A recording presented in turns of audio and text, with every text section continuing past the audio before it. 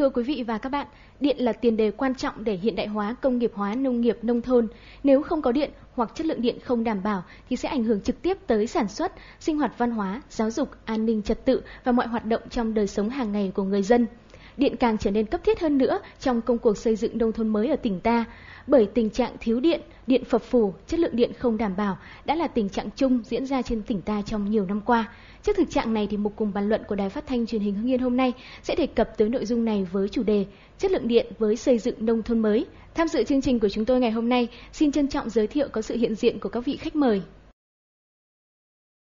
Ông Lương Minh Thanh, Phó Giám đốc Công ty Điện lực Hưng Yên, ông Trần Đình Huân, Chủ tịch Ủy ban Nhân dân xã Ngọc Thanh, huyện Kim Động và vị khách thứ ba của chúng ta ngày hôm nay là ông Nguyễn Xuân Bắc, trưởng phòng quản lý điện năng Sở Công Thương. Trước khi bàn vào chủ đề chính thì xin mời các vị khách cũng như là quý vị khán giả cùng theo dõi phóng sự ngắn về tình trạng thiếu điện ở một số địa phương trên địa bàn tỉnh ta. Những năm gần đây, lưới điện trên địa bàn tỉnh đã do ngành điện quản lý. Cùng chương trình cải tạo lưới điện nông thôn thuộc dự án RI 2, một số địa phương đã được đầu tư xây dựng nâng cao chất lượng lưới điện. Tuy nhiên vẫn còn nhiều xã, lưới điện hạ thế chưa đảm bảo, chất lượng điện kém, tổn thất điện tăng cao. Vì thế mức sử dụng điện của các hộ dân ở nông thôn tỉnh ta hiện nay còn thấp. Đặc điểm chung của lưới điện nông thôn là mật độ phụ tải, phân tán, lưới điện không đảm bảo kỹ thuật tổn thất lớn. Lưới điện tại hầu hết các xã được sử dụng khá lâu, ít được sửa chữa nâng cấp, tiết diện dây dẫn bé, sử dụng các cột rẽ tránh tạm bỡ không an toàn. Bán kính cấp điện lớn có nơi 2 đến 4 km, trong khi nhu cầu sử dụng ngày càng tăng đã gây ra hiện tượng quá tải dẫn đến chất lượng điện kém. Do cái đường dây nó bị cũ nát, cho nên là nhất là các cái chủ hộ mà người ta ở xa đường trục chính ở trong xóm sâu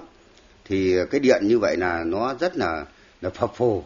không đảm bảo như vậy là cái đủ cái ánh sáng cho cái phục vụ sản xuất và sinh hoạt. Từ ngày tái lập huyện đến nay thì sản lượng điện của hai huyện Phù Cử và Tiên Nữ chúng tôi do chúng tôi quản lý theo thống kê thì nó tăng lên khoảng 20 lần. Sản lượng bây giờ của chúng tôi khoảng 10 triệu kWh tháng. Trong khi đó cái hệ thống lưới điện thì kể từ năm 1997 đến nay là gần như không được cải tạo. Vốn đầu tư rất ít. Theo quy hoạch tới năm 2015-2020, số lượng trạm biến áp và đường dây trung áp cả đầu tư rất lớn. Tuy nhiên việc đầu tư, xây dựng mới và cải tạo lại rất chậm, trong khi nhu cầu sử dụng ngày càng tăng cao. Vì thế không đủ khả năng đáp ứng nhu cầu điện cho khu vực nông thôn. Tiếp tục đầu tư xây dựng mới và cải tạo nâng cấp hệ thống lưới điện hạ áp nông thôn đã xuống cấp để nâng cao chất lượng và giảm trừ tổn thất điện năng đang phục vụ sản xuất và sinh hoạt cho người dân khu vực nông thôn tỉnh ta là yêu cầu cấp thiết hiện nay. Chúng ta vừa theo dõi phóng sự ngắn khái quát về chất lượng điện nông thôn ở trên một số địa bàn ở tỉnh ta. Trước tiên thì xin được hỏi ông Nguyễn Xuân Bắc, trưởng phòng quản lý điện năng Sở Công Thương, à, qua công tác à, chuyên môn thực tế và qua những gì mà phóng sự chúng tôi vừa nêu, thì ông có thể cho ý kiến về à, chất lượng điện cũng như là sản lượng tiêu thụ điện trên địa bàn tỉnh ta trong những năm qua. Lưới dạ, điện của chúng ta và lưới điện nông thôn được xây dựng là cũng từ rất lâu, có thể hai ba hai ba mươi năm nay. Tiết diện dây dẫn thì nhỏ, à, hệ thống cột thì đều chắp vá và được đầu tư không mang tính đồng bộ. Vì vậy, chất lượng điện năng kém. Tuy nhiên, trong những năm gần đây, kể từ ngày tái lập tỉnh, các ngành các cấp của chúng ta và ngành điện cũng đã có rất nhiều cố gắng trong công tác đầu tư cải tạo lưới điện. Cụ thể là có rất nhiều các trạm biến, biến áp phân phối được đầu tư và đầu tư bằng nguồn vốn G2, nguồn vốn IVO vì vậy chất lượng điện năng đã được cải tạo cải thiện cơ bản ừ. tuy nhiên do cái uh, nhu cầu sử dụng điện của nhân dân ta ngày một tăng ừ. trong khi nguồn vốn đầu tư thì hạn hẹp vì vậy ở một số xã ở một số vùng còn nông thôn ta về chất lượng điện năng hãng còn chưa đảm bảo vào những giờ cao điểm À, khi chúng tôi thực hiện chương trình này ạ, thì có gặp được một số những cái ý kiến phản ánh của người dân như thế này ạ. À, ngoài cái việc mà chúng ta sản lượng thấp chung do cả nước, thì cái chất lượng điện ở tỉnh ta còn chưa được đảm bảo. Đó là do cái hạ tầng lưới điện không được đảm bảo kỹ thuật. Vậy ông nghĩ sao về vấn đề này, thưa ông Lương Minh Thanh ạ? Về vấn đề là chất lượng điện thì chúng ta cũng là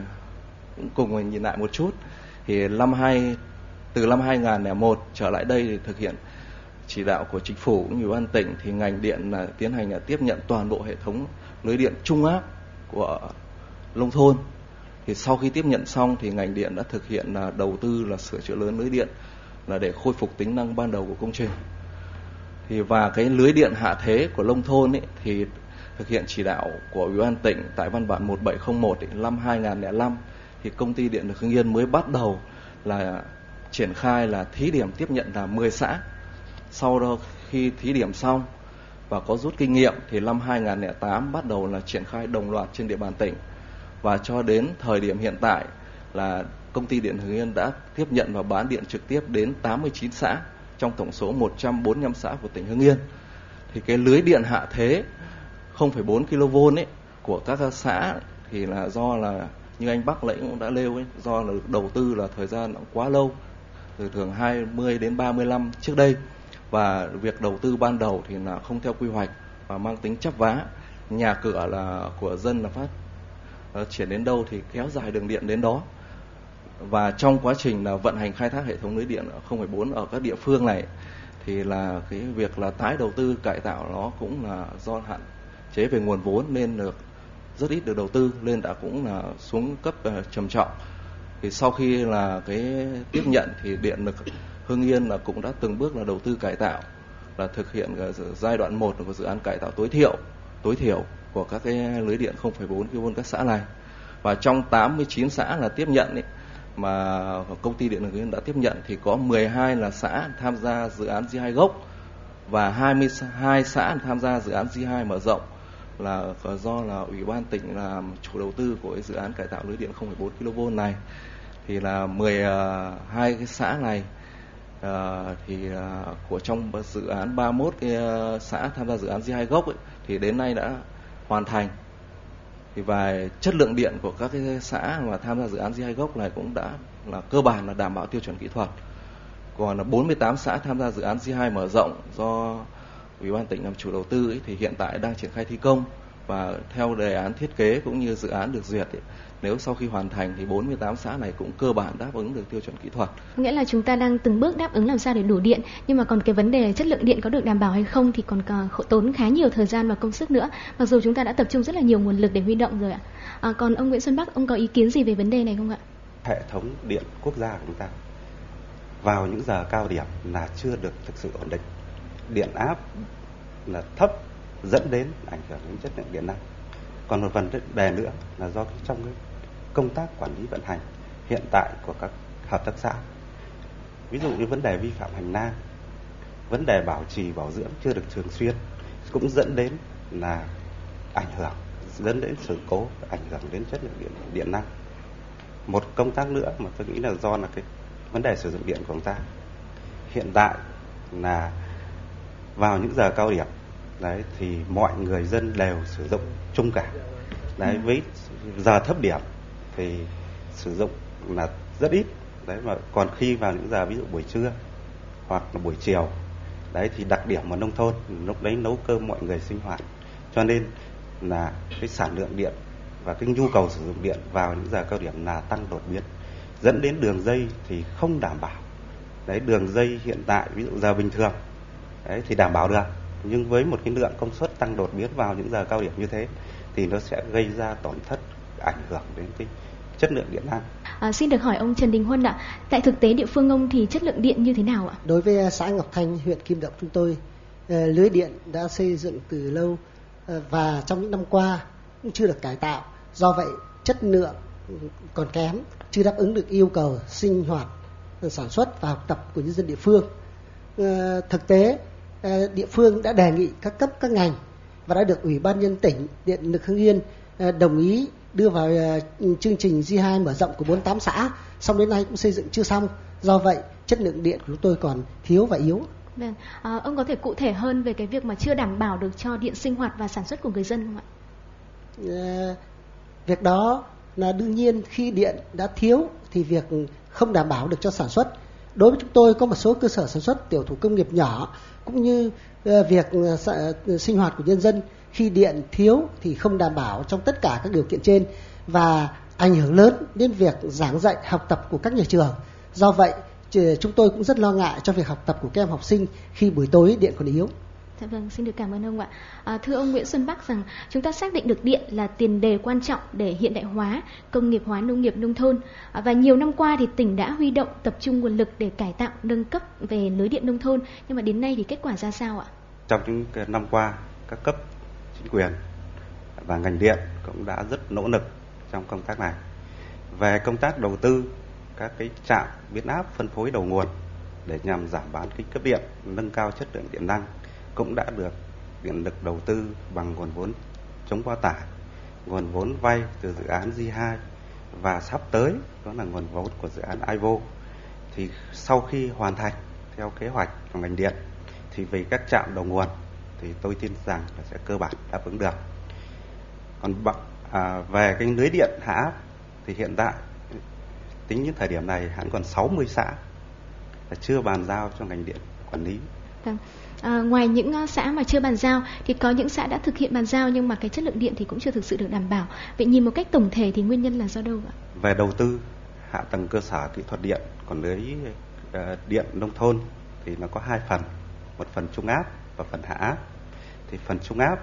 là hiện tại là do ngành điện đầu tư thì ngành điện sẽ đầu à, theo chúng tôi được biết và ngành điện đang triển khai thì cái phần đấy nó sẽ được đầu tư bằng nguồn vốn IVO và nguồn vốn chống quá tải và hiện tại ngành điện cũng đang thực hiện, triển khai. Thì sau khi mà dự án của ngành điện được đưa vào, thì cái bán kính cấp điện sẽ giảm đi và chất lượng điện năng sẽ được nâng lên. À, xin được hỏi ông Lương Minh Thanh ạ, nhằm nâng cao chất lượng điện thì Điện lực Hưng Yên những năm qua đã thực hiện ờ, đề án là bàn giao lưới điện hạ áp cho ngành điện quản lý và đến nay thì ờ, kết quả của đề án này đến đâu và trong quá trình thực hiện thì chúng ta có gặp phải những khó khăn nào không ạ? Sau khi công ty Điện Hưng Yên tiếp nhận và bán điện trực tiếp đến 89 xã thì cũng gặp phải một số khó khăn chính là như sau. Thứ nhất là hiện tại là cái lưới điện trung áp nông thôn ấy, thì là hiện tại là đang có 1.012 điểm vi phạm hành lang an toàn lưới điện cao áp và rất nhiều điểm là vi phạm hành lang an toàn lưới điện là 0,4 kV. Thì mà cái vấn đề này là vấn đề là chủ yếu là các công trình nhà cửa là vi phạm hành lang lưới điện cao áp với cả hạ áp là nhiều. Mấy cái vấn đề thứ hai, khó khăn thứ hai nữa là sau khi tiếp nhận thì là một số là tổ chức là dịch vụ bán lẻ địa phương là trước đây ấy, là trước khi bàn giao thì còn là cũng là lợ ngành điện là cái tiền à, điện nhưng sau khi bàn giao xong thì là hãng là chây là hãng là thực sự là đến thời điểm này cũng qua 2 đến 3 năm là hãng chưa thanh toán cho ngành điện và thực sự là vốn đầu tư ngành điện bệnh hết sức là khó khăn. Và thứ uh, ba ấy, thì đó là cái vấn đề là cái giải phóng uh, mặt bằng để thi công các công trình điện cũng là tương đối gặp nhiều khó khăn. Nhiều khi là tiến độ là phụ thuộc rất nhiều về vấn đề giải phóng mặt bằng nhiều dự án là kéo dài đến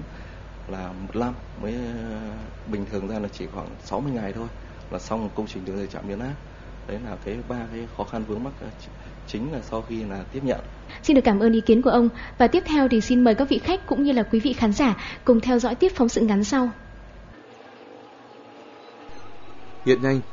một số địa phương trên địa bàn tỉnh ta nơi mạng lưới điện hạ áp nông thôn chưa bàn giao cho ngành điện lực quản lý xuống cấp trầm trọng. Đó là đường dây sau trụ công tơ đủ loại, không theo kích cỡ quy định, thậm chí các đấu nối sơ sài bất an toàn, trụ đỡ bằng gỗ lâu ngày bị mục nhưng không được thay thế. Đặc biệt có nhiều trụ điện phải cõng một lúc 30 đến 40 hộp công tơ với hệ thống dây chằng chịt để hở cả những mối dây điện trần. Ngay cả những xã được hưởng lợi về chương trình cải tạo lưới điện nông thôn từ chương trình RI 2 giai đoạn 1 cũng lo ngại về hệ thống lưới điện để xây dựng nông thôn mới. Cái ờ, tiêu chí của cái xây dựng nông thôn mới tới đây thì chúng tôi áp thấy thì trong 19 tiêu chí thì có cái tiêu chí của cái đường điện nông thôn. Thì hiện nay nó theo thì chúng tôi đánh giá không phù hợp lắm. Bởi vì là nó sẽ uh, thứ nhất là các cái đường điện của tôi đã được thiết kế. Và trong khu dân cư thì bây giờ là nếu người ta tiêu chí của nông thôn thì là đường trong đường là trong xóm thì nó phải 3 mét 3 mét rưỡi. Nhưng đến giờ thì trong chỉ có hai mét rưỡi là đã cột đã lập rồi. Thế và Ờ, nếu như mà áp vào cái tiêu chí đó thì tôi thấy là rất khó khăn rất khó khăn cho chúng tôi hiện nay là ở chỗ là không thực hiện được cái tiêu chí này Điện là một trong 19 tiêu chí xây dựng nông thôn mới. Tuy nhiên hiện nay, một số nơi hệ thống mạng lưới điện hạ áp nông thôn còn những bất cập, người dân sử dụng điện không an toàn và giá cao, chất lượng thấp. Theo kế hoạch, giai đoạn 2011-2013, mỗi huyện tỉnh ta chọn 2 xã để xây dựng nông thôn mới và phấn đấu đến năm 2015 sẽ có 44 xã đạt chuẩn, năm 2020 sẽ có 87 xã đạt chuẩn về nông thôn mới.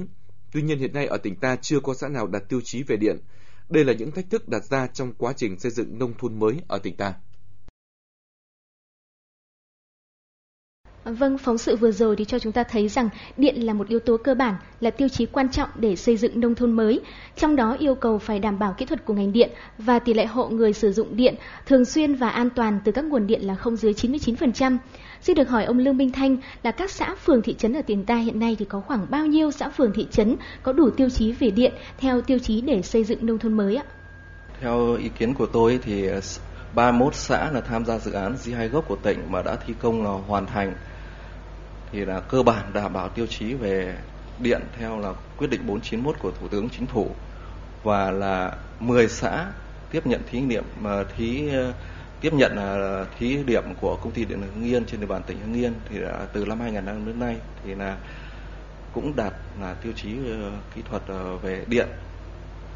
Về ờ, hiện nay trên địa bàn tỉnh Hưng Yên thì là với cái là tiêu chí về kỹ thuật như lễ tôi vừa nêu thì cũng còn à, nhiều địa phương là cũng chưa đạt được tiêu chí về kỹ thuật cũng như là các cái quy, văn bản quy à, định hiện hành của nhà nước về tiêu chuẩn kỹ thuật điện điện nông thôn. À, chúng tôi được biết rằng là bằng nhiều nguồn lực, trong đó có chương trình cải tạo lưới điện nông thôn hay gọi tắt nó là G2 và đã tiến hành nhiều năm qua trên địa bàn tỉnh ta, rồi ờ, đề án giao lưới điện hạ áp về cho ngành điện quản lý. Vậy thì tại sao đến nay số lượng các xã phường đạt các tiêu chí về điện trong ờ, bộ tiêu chí về xây dựng nông thôn mới còn rất là hạn chế ạ? Thưa ông Nguyễn Xuân Bắc ạ. Chúng ta cũng phải nhìn nhận lại do cái lịch sử đề lại. Cách đây trước đây là do ủy ban xã quản lý lưới điện hạ áp nông thôn sau ấy từ năm 2003 là chúng ta thay đổi mô hình, chuyển từ ủy ban xã sang cho các hợp tác xã quản lý. Vào những cái thời điểm đấy thì cái nhu cầu sử dụng điện của chúng ta rất thấp. Vì vậy à, phải nói rằng là các cấp chính quyền chính quyền xã, hợp tác xã trong những năm qua cũng có những cái đầu tư để nhằm à, cấp điện cho nhân dân. Tuy nhiên đấy, là do hiện tại là do cái sử dụng nhu cầu ngày càng tăng trong khi cái nguồn vốn nguồn năng lực về đầu tư của địa phương cũng như của hợp tác xã là hạn chế và không đáp ứng được yêu cầu thực tại. Chính vì vậy mà ủy ban tỉnh có quyết định là bàn giao toàn bộ lưới điện hạ áp nông thôn sang cho ngành điện quản lý để phục vụ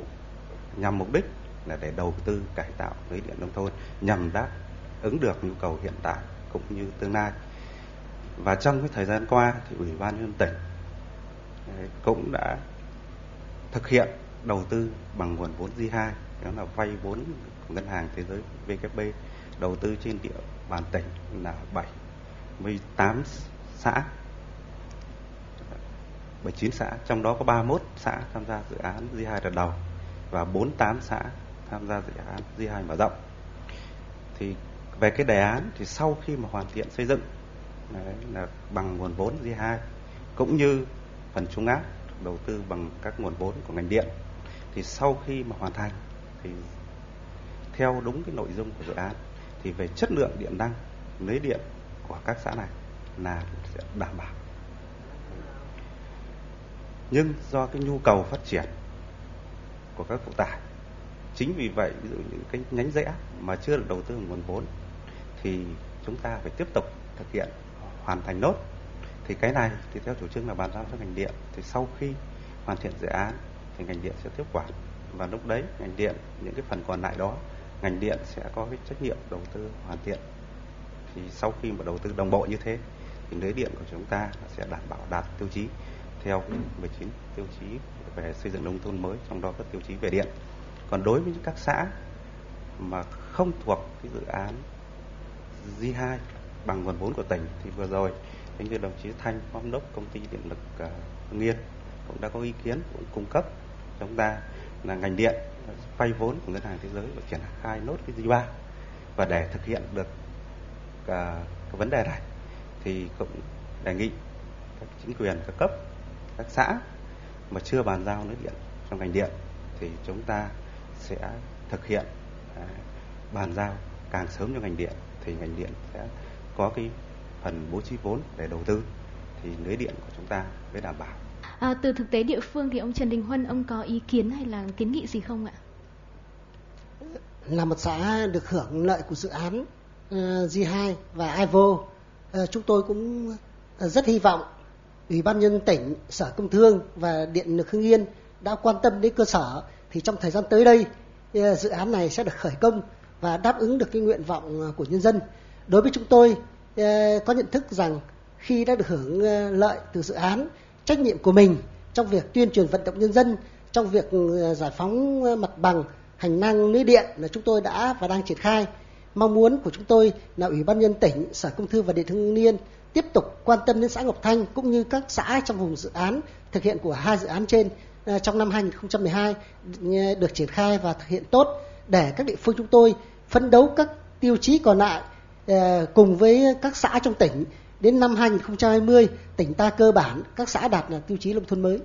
À, thưa ông Nguyễn Xuân Bắc là để nâng cao chất lượng điện, đảm bảo tiêu chí và dần dần đáp ứng đủ nhu cầu về điện sinh hoạt cũng như là sản xuất của người dân và tiến tới đạt tiêu chí về điện trong xây dựng nông thôn mới thì cần các nguồn lực và lộ trình như thế nào ạ? Chúng ta phải có những cơ chế chính sách để tạo điều kiện cho các đơn vị và các cái nguồn lực à, đầu tư vốn vào để xây dựng cải tạo à, lưới điện à, nông thôn đấy bây giờ đây là một cái mục tiêu lớn của quốc gia. Thì bây giờ chúng ta phải có chính sách. Ví dụ như sau khi bàn giao cho ngành điện thì bây giờ phải có chính sách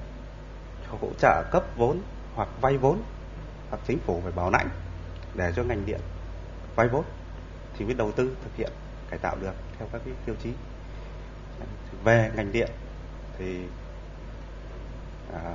cũng phải có những cái kế hoạch cái lộ trình cụ thể. Để làm sao nó phù hợp với cái từng cái giai đoạn từng cái kế hoạch của tỉnh. Ví dụ trước mắt là theo kế hoạch của tỉnh là sẽ thực hiện là thí điểm trong 20 xã xây dựng nông thôn mới. Sau đó chúng ta sẽ tiến hành đồng bộ. Thì về phía ngành à, điện cần phối hợp với các ngành các cấp khác để chúng ta có một cái kế hoạch là nó đồng bộ. Ví dụ xây dựng đường xây dựng các cái mục tiêu. Đấy. thì để hiện tại trong 20 xã này thì có 20 có 10 xã là đã nằm trong dự án G2 và G2 mở rộng. Còn 10 xã nữa là nằm ngoài dự án G2. Thì có những xã đã ban giao cho ngành điện quản lý, có những xã thì chưa. Đấy. Vì vậy à, trong cái giai đoạn từ nay 2015 thì theo kế hoạch à, của tỉnh cũng như à, chung của ngành thì chúng tôi cũng sẽ tổ chức à, cùng phối hợp với ngành điện các à, ngành các cấp để thực hiện hoàn thành cái tiêu chí về điện trong cái giai đoạn từ nay đến 2015. À, thưa ông Linh Minh Thanh, ông có thêm ý kiến gì về vấn đề này không ạ? Cũng xác định là xây dựng nông thôn mới là một chương trình mục tiêu quốc gia và đây là nhiệm vụ của cả một hệ thống chính trị cũng như là của toàn xã hội và cả người dân nữa thì có triển khai đồng bộ và phối hợp tốt thì mới thực hiện được cái đề án này vì cái đề án này cũng là lớn và là chương trình của cả quốc gia thì không cứ trên địa bàn tỉnh Hưng Yên mà tất cả các tỉnh thành khác trong cả nước thì cũng cần với nguồn lực là rất lớn. Thì cũng ờ, qua chương trình này thì tôi cũng rất mong muốn là chính phủ cũng như là các bộ ngành tiếp tục có cơ chế cũng như là hướng dẫn để ngành điện là tiếp cận được các nguồn vốn vay ưu đãi của các tổ chức tín dụng quốc tế của các chính phủ như là, là ngành điện là vay vốn của chính phủ Phần Lan cũng như là của ờ, ngân hàng thế giới để thực hiện dự án IVO và G2 đợt 3 là đang triển khai vì là những dự án à, vay vốn cái lãi suất là 0% và cái phí dịch vụ chỉ có là 0,75% thôi. Và thời gian vay vốn là thường là 40 đến 55 và ân hạn là 15 vì nếu mà để đầu tư là vay vốn của các cái tổ chức là thương mại à, trong nước thì là cái lãi suất nó rất cao thì cũng là một cái khó của ngành điện. Vậy thì với những kế hoạch và lộ trình như vậy, thì liệu đến năm 2013 chúng ta có đạt được tiêu chí là 20 xã và đến năm 2020 là có 87 xã đạt tiêu chí về xây dựng nông thôn mới trong đó tiêu chí về điện không ạ? Thưa ông Lương Minh Thanh. Thì tôi cũng là tin tưởng rằng với kết hợp đầu tư của công ty điện Hưng Yên cũng như của ủy ban tỉnh Hưng Yên thì về là tiêu chuẩn kỹ thuật là sẽ đạt được ở những 20 xã này. Nhưng cũng có một phần rất là quan trọng, đó là cái sử dụng điện là an toàn tại các hộ dân ờ, tại các xã thì đảm bảo theo đúng là tiêu chí thì mới đạt được. Tôi thấy chẳng hạn như ví dụ như là theo cái tiêu chí là sự an toàn điện trong uh, nông thôn ấy thì chẳng hạn như là đối với nhà cửa xây dựng là nếu mà ban công là nhiều phải cách đường dây 0,4 kV của các uh, xã thì là tối thiểu là phải 3 không có cửa sổ là phải cách cái đường dây là tối thiểu là 0,3 mét và cây cối là không vi phạm hành lang lưới điện. Thì để đảm bảo tiêu chí thì nó kết hợp được phải kết hợp của cả ngành điện và sự phối hợp là của các hộ gia đình sử dụng điện ở nông thôn để đảm bảo hành lang lưới điện. Thì còn kế hoạch đến à, 2020 để đảm bảo 87 xã thì công ty điện Hưng Yên sẽ căn cứ vào phê duyệt quy hoạch à, lưới điện phát triển điện lực tỉnh Hưng Yên à, từ nay đến năm 2020 của Bộ Công Thương cũng như là quy hoạch là phát triển xây dựng nông thôn mới của các ờ, cấp ờ, trong tỉnh là phê duyệt sau khi là ủy ban nhân dân các xã là hoàn thành đề án và trình. Thì chúng tôi sẽ bám vào, sát vào hai cái quy hoạch và cái này thì chúng tôi triển khai. Thì cũng là rất mong muốn để là được sự là phối hợp, là hỗ trợ của, từ các cấp chính quyền địa phương và nhân dân trong tỉnh để ngành điện làm sao là phục vụ tốt nhất cái nhu cầu sử dụng điện của nhân dân và đến ờ, 2020 là cơ bản là đạt được cái mục tiêu là đề ra là 87 xã. Thưa ông Trần Đình Huân, ông có muốn góp thêm ý kiến gì không ạ? Ờ, đối với xã chúng tôi đã bàn giao lưới điện cho ngành điện quản lý năm 2009. Ờ, năm 2010 thì ngành điện đã nâng cấp một trạm biến áp và năm 2011 xây mới một trạm biến áp nhưng theo thiết kế chung là xã chúng tôi cần phải hai trạm nữa và trong những năm qua cũng được sự quan tâm các cấp đã khảo sát và đã đang tiến hành thi công ờ, xây dựng đường dây hạ thế theo ờ, dự án ờ, G2 của tỉnh. Thì khi lập dự án thì từ năm 2009 nhưng đến nay mới thi công được phần cột. Và từ năm 2009 đến nay, chúng tôi có phát triển thêm một số cơ sở sản xuất và một số khu dân cư mới. Do vậy để đảm bảo đưa điện phục vụ cái khu sản xuất cũng như khu dân cư mới, thì chúng tôi cũng phải đề nghị ngành điện à, tới đây thi công thì sẽ tiếp tục phải có cái bổ sung thì ờ, à, với đảm bảo được ờ, cho những tiêu chí về xây dựng nông thôn mới đặc biệt về tiêu chí về điện à, đồng thời chúng tôi cũng đề nghị à, ngành điện sẽ tăng cường công tác ừ, quản lý hơn nữa và đầu tư hơn về các ừ, hệ thống dây dẫn thay thế những hệ thống cột dây đã cũ để đảm bảo an toàn cho mùa mùa mưa lũ năm nay cũng như các thời gian tới. Trách nhiệm của địa phương chúng tôi thì chúng tôi sẽ tiếp tục ờ, tuyên truyền vận động nhân dân ờ, thực ờ, hiện và hướng dẫn nhân dân sử dụng điện, tiết kiệm và có hiệu quả và an toàn. Thưa quý vị và các bạn, từ cuộc sống sinh hoạt hàng ngày và qua cuộc trao đổi ngày hôm nay với các vị khách mời, chúng ta thấy rằng điện có ý nghĩa và vai trò hết sức quan trọng trong đời sống, trong công cuộc xây dựng nông thôn mới. Tuy nhiên, để có đủ điện đáp ứng cho nhu cầu sản xuất, sinh hoạt và tiến tới đáp ứng nhu cầu về tiêu chí xây dựng nông thôn mới thì còn cần nhiều thời gian, công sức, cùng với đó là ý thức tiết kiệm điện của mỗi người tiêu dùng. Hy vọng rằng qua cuộc trao đổi ngày hôm nay với các vị khách mời là những người trực tiếp quản lý hạ tầng kết cấu ngành điện thì trong một thời gian tới không xa chúng ta sẽ có được một cái chất lượng điện ở nông thôn đảm bảo. Một lần nữa thì xin được cảm ơn sự tham gia của các vị khách mời, cảm ơn sự quan tâm theo dõi của quý vị và các bạn. Xin kính chào tạm biệt và hẹn gặp lại.